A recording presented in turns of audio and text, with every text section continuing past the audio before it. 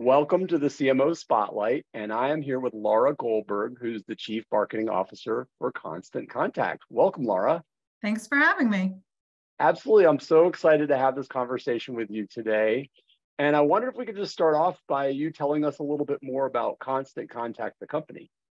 Sure. So, Constant Contact is an email, digital marketing, and CRM platform for small businesses. So, we try and help small businesses grow, reach more customers, um, and uh, reach their goals. Great. And so tell us a little bit about your role as chief marketing officer. Maybe tell us about your role, your team, that kind of thing.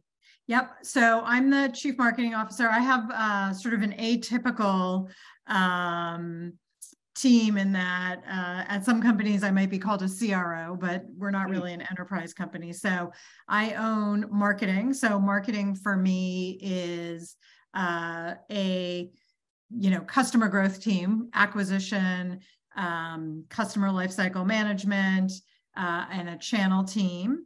And then I have a sort of traditional head of brand who runs brand, creative, content, uh, product marketing team and then um, uh, PR, and then lastly, I, I, call them the O's operations um, and optimizations, right? So they run the website, they run the MarTech stack, they're looking at Optimizely and other things to improve our stack. And then on the other side, I run the sales organization. So that is largely a telesales um, rep that really works what comes in to trial to our um, to our product. So it's sales, sales enablement, sales ops, um, and then a BDR and AE team. Wow. Okay. So that's it's interesting for organizations that have a leader that is responsible for both marketing and sales because sometimes there's tension between sales and marketing and i think when there's a single leader owning both there's a lot less tension usually Yes. and I think because of the way our um, sales motion works, where there's sort of media which drives to a website that gets a, um, you know, a lead who can convert with it, with or without that salesperson. It's a little more symbiotic than, you know, when you have a rep who's doing outbound and inbound, and it's like, what's, you know, where's the pull and push and pull there? Mm-hmm. Well, I wondered if you could tell us a little bit about your career path. You had a very interesting career path. I saw you in undergrad to Carnegie Mellon and then Harvard MBA, but then you I saw a stop at Napster along the way there, for example. And then I know most recently you were with a company called Kabbage that was acquired by American Express. So I wonder Correct. if you could just give us the, the nickel tour of your career path. I will give you the nickel tour. Uh, there's definitely like a quarter tour and like a hundred dollar tour because I've had um, sort of an interesting career path. Yes, I went to Carnegie Mellon undergrad um, and Harvard Business School, and and you know started my career in the traditional places, um, consulting and finance, and I got a great base of sort of general education, but didn't didn't love it. Right, really wanted to be an operator I, is sort of the bigger mm-hmm. word. And so in um, the beginning of the 2000s, I uh, joined the digital music revolution, and, and music was sort of the first media to get online, right? Small files, easy to digitize. And, you know, Napster, the free version, already existed. And so I spent 10 years, and, and that's where I like to say I got my internet education, learning about technology, learning about marketing, which was very different than um, learning about customer support and tech support and all that, all that good stuff, trying to make uh, trying to make what is basically uh, iTunes and Spotify today. Mm-hmm. Um, and so I started working for Universal Music, but there were a lot of antitrust issues spun out.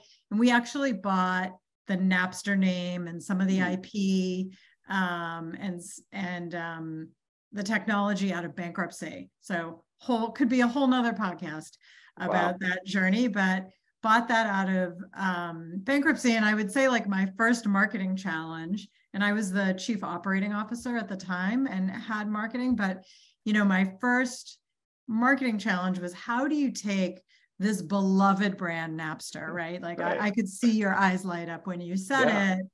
Um, you know, it was beloved, but it was beloved because you didn't have to pay for music. right, right, right, right, right. For the wrong Best- reasons, right, right, right, right. you loved it was cool right so the cool, and so how do you keep what's cool and what's music and all of that but then say hey we want you to pay 10 bucks a month for Yeah, access to all this music and and i would say we were mildly successful. Um and you know the brand still exists today. I actually saw that uh, napster just made an acquisition they're very much in the web 3 uh, uh, world. But it was super interesting and just a really fun journey. Um, napster eventually got sold which seems strange now. It made sense at the time to best buy. Um, and that was not a place i wanted to be and um, you know i'm going to hand wave this part of my career but had a number of product marketing COO roles in smaller, more startup um, size companies. Oh, I I I let I list I I skipped one sexy stuff that people that people generally like. Um, um, I went after the music industry. I went to the NFL for a while and was Mhm, the mhm, general saw that. manager of essentially the NFL online, and and that was interesting. It was a just a- an amazing education for me for someone who had always run marketing but more from a performance point of view to work for this company that really took its brand seriously right we you know it's referred to as the shield and what will you put the shield next to and how and and seeing use guidelines and values and and how really empowering and how powerful that brand was. Now agree or disagree with some of the things that the NFL stands for it it's very strong in knowing who they were and it was an amazing education in seeing the power of a brand and what a brand could really do especially for someone like me who is definitely viewed as more operational and much more steeped in the numbers right is Mhm. are we getting the ROI on that is this working for us so um, after the NFL, like I said, I went to a bunch of smaller companies in a variety of roles. And then um, one holiday season, a friend from the music industry called and said, I am at LegalZoom and we need a CMO. And I Hmm. said, I'm not sure I know anyone. And he's like, No, no, I'm calling you because I want you to be the CMO. And I was like, I'm not a C. I've never had a marketing title right? I've had product and operations and general manager, but like, why do you want me? And he said, you know, we are a company of lawyers because it's a legal product and engineers, and we need someone who thinks about the customer first. What are we Mm. offering to the customer? And he's like, we're good at SEM and some of these other like tactical things. Can you come? And so I went there and I mentioned it, and it's very pivotal for me because it started what's now been almost a 10 year journey working for companies that cater to small businesses, which is Yep. something if you had told me before, I wouldn't have known I had a passion for, but is I find incredibly rewarding.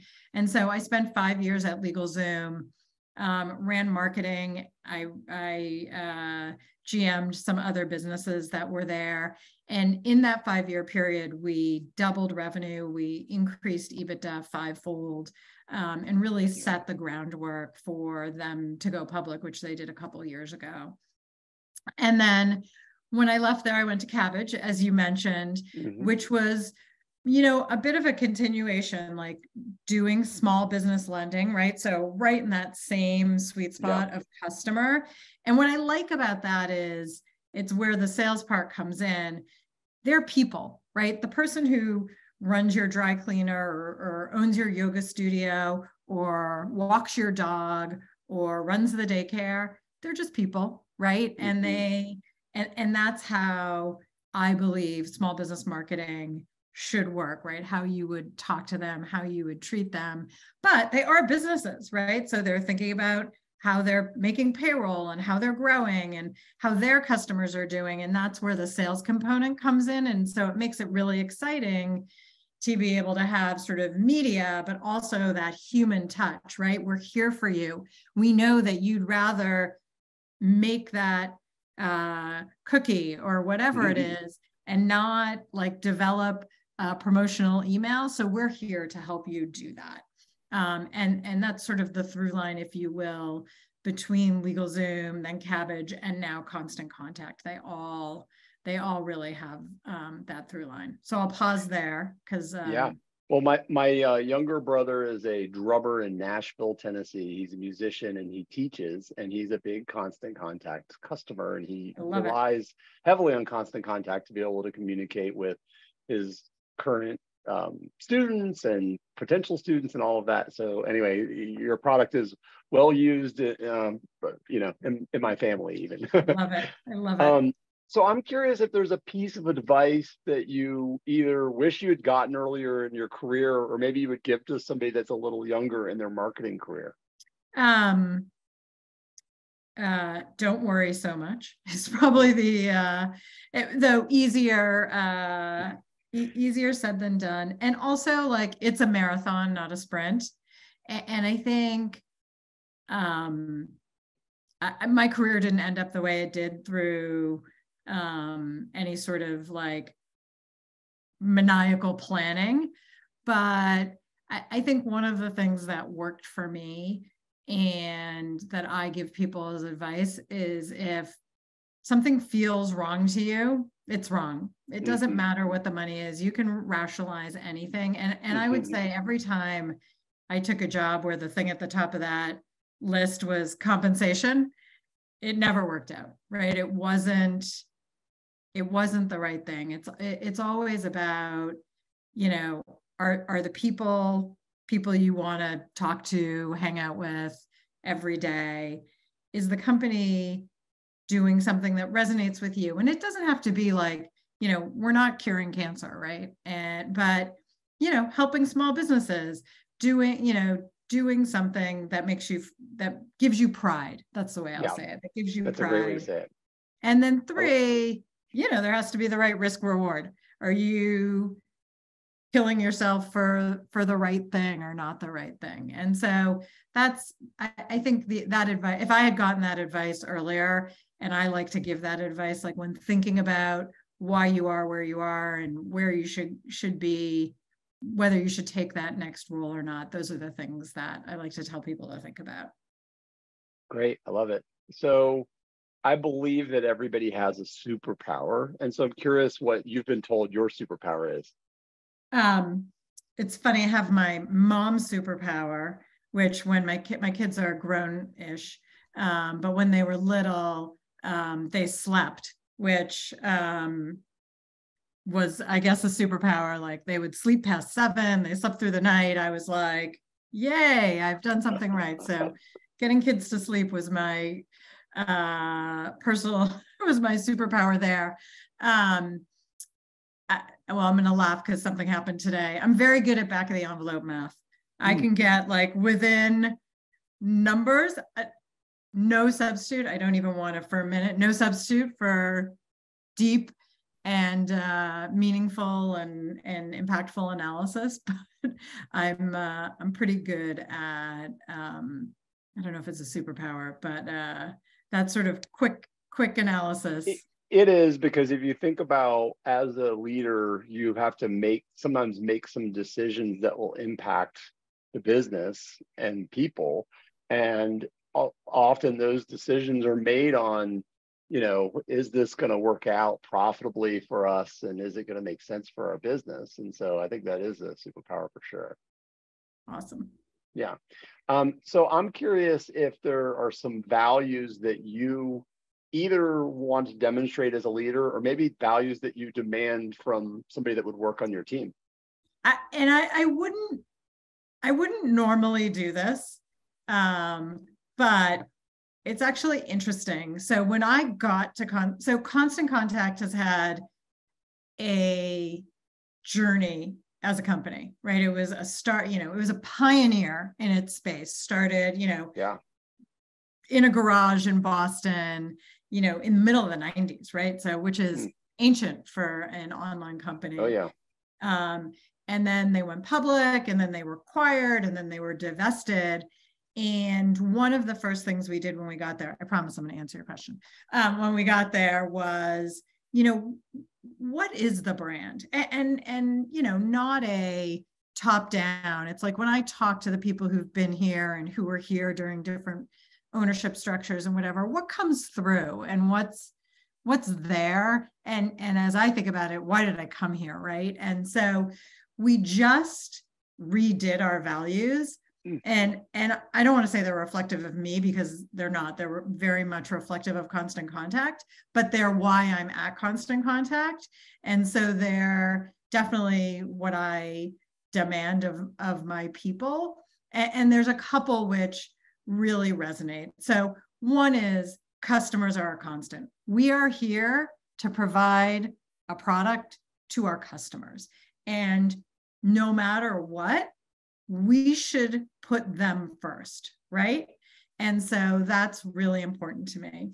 The second one is the words we use are adapt and act for impact. And I I always talk about a bias towards action, right? What do you is what you're doing affect, you know, getting us towards where we're where we need to be? Is it impactful? Is it, can you see the difference? Like make sure you're prioritizing work that way. And by the way, you're not, the action you take is not always going to be right. Great. Learn from it and adapt. And that's why those two things together um, really work. And, you know, the last one, I, um, I care a lot about integrity and and and truth and all of that. And and i i think this organization does too our ceo very much does. And so the last one is um we what we say is keep it real do it right. Like hmm. uh, be honest about what's going on do the right thing and that will always lead to goodness. And you know it's much easier to deliver bad news in the moment than to like stew on it and wait. And that by the way is always the right thing. Or if you're mm-hmm. not it's it's before about if if a job doesn't feel right in your gut it's probably not right right? Do just do the right thing. So those are a few things that you know are really important to me that also happen to be reflected in the constant contact values that i look for in my people i love that um, so at setup we're marketing matchmakers and that often means that we connect brands and marketing agencies together. And we sort of live in that space in between. So we're not a not an agency, we're not on the client side. We live in that space between. But we think a lot about the relationship between brands and agencies. I'm curious, just generally, how you work with agencies, either at Constant Contact or maybe in a previous life. Um, so I would say it's actually interesting. I um I was thinking about this connection, this um question, because my gut is as little as possible, but that's hmm. not true. And I actually think um something that you're that you talk about resonates here, which is I use agencies to fill in gaps. Mm. And and those gaps may be gaps in expertise, maybe gaps in hiring for a moment. It, it's, um, I'll, I'll give you one example. Like I've never had an in-house creative team that's making ad, right television ads. Like that is someplace where an agency, uh, a partner is really efficient for getting something done that you have to do maybe once or twice a year super impactful right really important expensive but um, really, really meaningful. I would say a couple other places um, buying television, right? I'm never going to be able to negotiate with NBC better right. than an agency who's aggregating bigger brands, right? So that's that is one place I've always used an agency is media, TV, TV, um, you know, online, over the top, et cetera.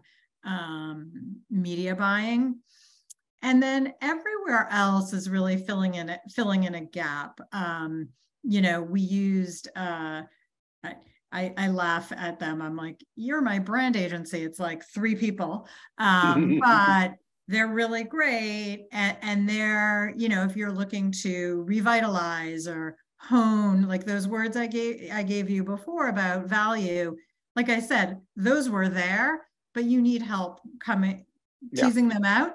And sometimes them, yeah. yeah, and sometimes it's easier to tell them to a third party than it is to your CMO or the head of brand or whatever that is. So that's really how I use agencies. I where things are important, I think it's important to build capabilities. I've never had a lot of luck with someone doing SEM for me or um, some other things, but that's sort of where um, where where we use it to fill holes, to enhance. Um, I, I think the right way, the right way for Yeah. me. Well, we, we often talk about in our business the, the gaps that exist are either capacity gaps where you just don't have enough arms and legs to do the things you're trying to accomplish, or they're capability gaps where it, to your point, it doesn't make sense to have a specialist that's super focused on a specific niche of marketing. You you generally staff your marketing team with generalists that can do lots of different things, but that means that they're not by nature not great at everything. There's certain disciplines where having an outside perspective or expert that lives and breathes this stuff all day, every day is, is beneficial. Agreed. Agreed. So, uh, as marketers, we often work with the non-marketing functions within the company, and you have a little bit unique role in that you own business development or, or sales, uh, you know, and, and have revenue responsibility beyond just Yeah. marketing responsibility. But I'm curious how you generally demonstrate the value of marketing to non-marketers that don't live in that world. Um, so I live and die by an LTV to CAC ratio Mhm. almost all Can the you time. just so can you tell t- for Yes. the audience? Can you tell what those are? I was, yes, I, I I was going there next. So Okay. LTV is long-term value, lifetime value of a customer. So how much revenue less the cost of goods, cost of service, et cetera, divided by the cost to acquire that customer. Right. And in general, your, that ratio should be over three. Three is sort of, you're doing okay. I, once hit a six and I actually had an investor say, can you spend more money? Yeah. right? That's where you're in a really good situation. But that is something I um I like to look at. We um I like to look at it as stripped down as possible, that CAC, and my CFO likes to look at it as built up as possible. I think the harder part of that is how do you look at my creative team, my brand team, right? Parts of the team which are lifting all the boats, right? That is sometimes a little harder to um, delineate. And, and so, and, you know, last year where we did a new visual identity and, and things like that, people see it, right? The website looks totally different. Then you're like, oh yeah, this looks better. And right. things are better but it's hard in the day in and day out but i think that you know i try and run as lean as we need to be um, and and really show that value but when I, I i will say the a little bit of the through line between uh LegalZoom not so much Kabbage but a little bit and um, constant contact is they're all private equity backed. And so, you know, you really need to show the numbers, right? I always, um, someone asked me how I lasted so long working for PE at LegalZoom. And I said, because I show the numbers first and the pretty pictures second. Mm. And, you know, I think being, we're, we're, a numbers business um all you know all all three Kabbage legal zoom and constant contact were all about ltv to cac about you know churn net revenue retention things like that we're very analytically and i am very analytically focused Great. So I'm curious if there's a campaign either again at Constant Contact or in a previous life that taught you a really important lesson, either because it was a miserable failure and you needed to learn that valuable lesson, or it was a success that maybe you'd like to try to emulate again in the future. um something sort of sort of old in my past sticks in my head. But um, uh, when I was at the NFL, uh, one of the things that's a bummer is after week, well, now 18, but it used to be 17. right. Fantasy football's done, right? Right. Right. And uh, it, you know, there's a little bit of lull between that and the Super Bowl, and a lot of people are interested in the NFL for their fantasy football games. And so um, we had a game that was like sort of in the playoffs, and it was a really cool game. And we had developed an ad, I think before I got there, maybe the year I got there, with um, do you remember that song, uh, Had a Bad Day? Oh, yeah, of course. And um, I could like sing it. And the ad, I you, think you should. You should sing it. I'm not going to sing it. Um, but uh, I think I saw it this year. So I was at the NFL and uh, around 2000, uh, around 2010, 2009 and 10. And every year we would, the ad is basically, so you had a bad day and it would be people just lamenting their fantasy football season. Yeah. But then you had an opportunity to do it all over again for the, this fantasy game during the playoffs.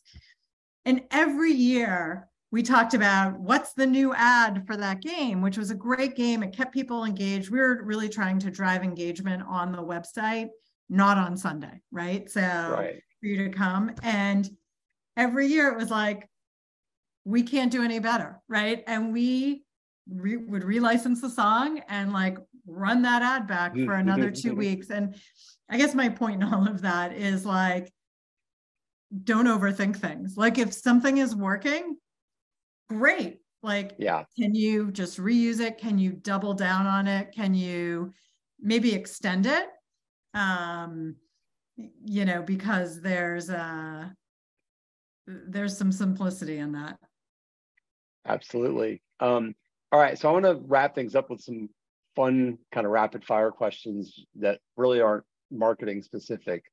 The first is Is there a sports team or a quote or a book or a movie or a band, you know, that that really inspires you? And what is it about that thing that inspires you most? Ugh, you don't want to talk about sports with me. I'm from Boston, and people think we're obnoxious. Um, no, just to I, say, hey, born in Boston, and and all my extended family is there, and grew up Pats, Celtics, Bruins, Patriots. So I understand. Yep. Um, Red Sox. Sorry, I missed Sox.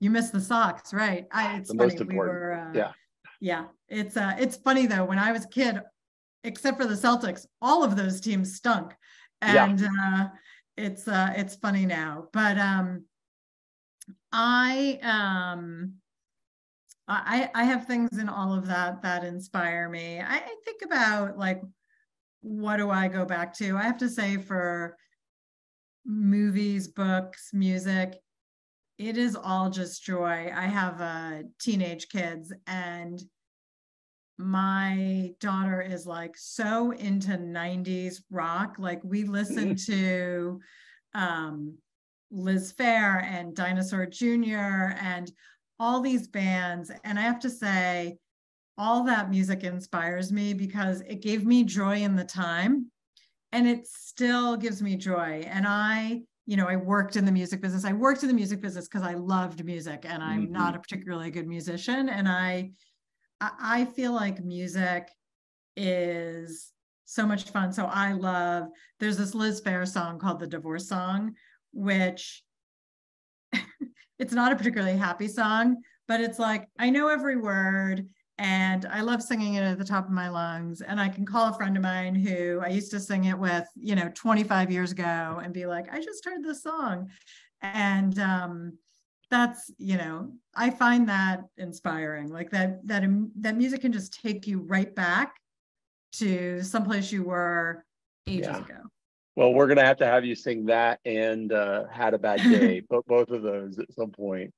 Um, exactly. I'm curious, other than your family and maybe even other than music, where do you find joy outside of work? Um, I cook a lot. I mm. um, am a, a, very, I was, I, I'm a, a, I don't know, prolific. I don't know the adjective to use. I cook a lot, um, mm. mostly on the weekends. I, I really like it. I like experimenting.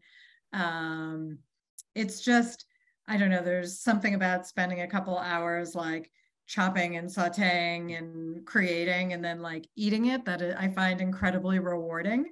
Um, so are your I kids do that. adventurous? Are your kids adventurous eaters now? Yes, yes, they will. Great. They're pretty good at trying anything. They have some things they won't eat, but they're they're pretty good about uh, about trying uh, trying anything. And uh, uh you know, as, as, when they're like, "Oh, this isn't good," I'm like, you know, you can't produce a hit every time. Yeah, right. You know, like, do you want to start cooking? No, great.